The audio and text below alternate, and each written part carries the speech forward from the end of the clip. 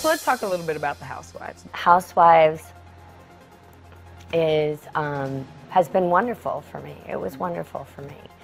Uh, I did enjoy doing it at times, and um, but no, it was uh, like I said. At times it was fun. We did fun things, and other days it was just completely stressful. How's your relationship with Kyle? Right. We're talking. Are you talking? Yeah. so she came to Brooke's wedding, and that was um, actually the first time I had seen her in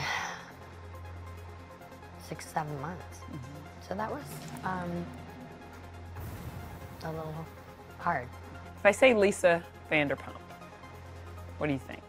Um, I think Lisa has a very, uh, she's witty, she's fun.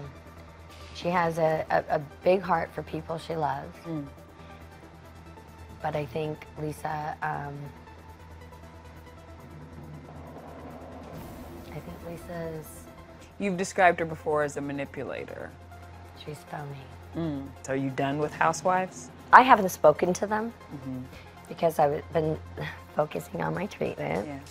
My representative did speak to them, and they have asked me to come back.